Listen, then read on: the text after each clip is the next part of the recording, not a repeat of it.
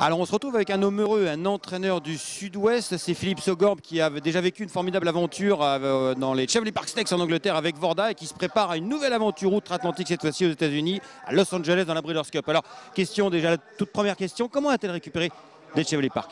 Vraiment très bien. C'est une jument qui est sans souci. Elle récupère à chaque fois les mêmes impressionnantes. Après chaque course, la jument, une semaine après, elle est en pleine forme.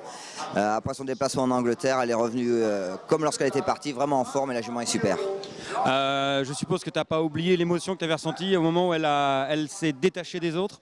Ah, c'est phénoménal. Lorsque vous attaquez un groupe 1 et que vous voyez la jument vraiment au-dessus des adversaires qui est capable d'accélérer comme ça, c'est, je ne peux pas le décrire, voilà l'émotion vraiment que ça procure. Et revenir euh, avec sa championne devant les Anglais, enfin, pour nous des petits Français euh, de la province en plus, euh, voilà, vaincre dans un groupe à Newmarket, ça fait quoi? Ah, C'est super, mais on y, va, on y va vraiment sans complexe. Quoi. Lorsqu'on sait qu'on a la jument qu'il faut, qui est faite pour ça, c'est vrai qu'on peut y aller sans complexe. Hein. On la connaît sur la ligne droite, sur 1200 mètres, elle va changer de sport là quand même, 1600 mètres avec tournant.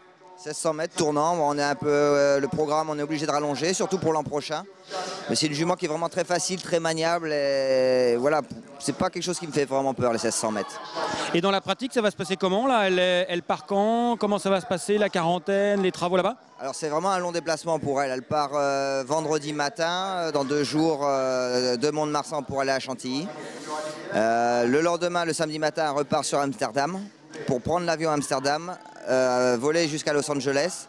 Là, elle fait 48 heures de, quarantaine où elle est en main. Donc ça va être le dimanche, le lundi et le mardi matin pour aller sur la piste. D'accord. Et toi-même, tu arrives quand là-bas? Moi, relativement tard, je vais arriver le, jeudi, la veille de la course. Euh, j'ai vraiment une bonne équipe qui va s'en occuper là-bas. Et bon, on est quand même euh, impatient d'y être hein, maintenant. Avec Olivier Pelliancel, comme, comme dans les Chevrolet, c'est ça? Oui, avec Olivier qui l'a monté à la perfection. C'est une jument on peut dire qu'il est bien pour Olivier, c'est une jument où on peut prendre son temps, qu'il faut économiser, respecter. C'est vraiment la monte à Olivier, elle est faite pour elle. Super, eh bien nous serons là-bas avec euh, Philippe, avec Olivier et vous serez là-bas grâce à l'équipe de France Cyr euh, TV qui fait le déplacement une nouvelle fois pour la Breeders' Cup et on va taper du pied, on va nous casser nos talons aiguilles.